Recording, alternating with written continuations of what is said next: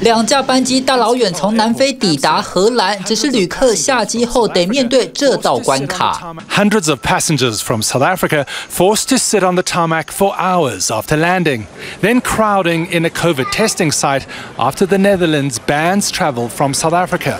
可怕的是，近六百名旅客有八十五人筛检阳性，但是不是引起全球恐慌的魔王变种 Omicron 目前还不确定。只是全球已经有不少国家搬出旅游禁令来防疫。Countries all across the globe rapidly banning travelers from parts of Africa.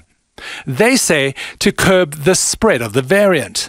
Now thousands are likely stranded. 继英国开第一枪禁止非洲南部六国航班入境后，欧盟成员国同意禁止来自非洲南部七国的航班入境。亚洲的日本也对非洲南部六国禁管，新加坡、菲律宾、澳洲也对非洲国家即入境限制。美洲的巴西、加拿大也跟上这一波入境限制潮，美国当然也不例外。The variant has not been detected in the United States yet.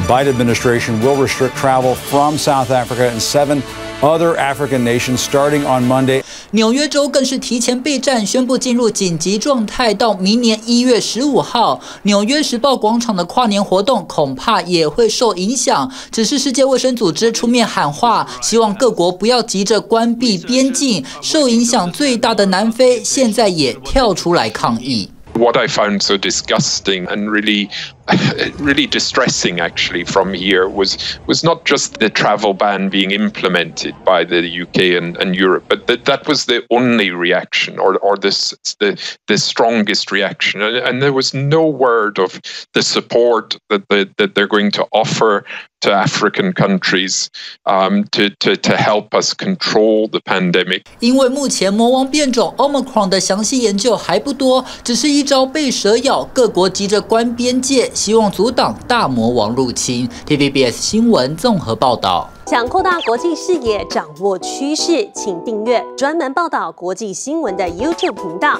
TVBS 国际 Plus，记得要开启小铃铛哦。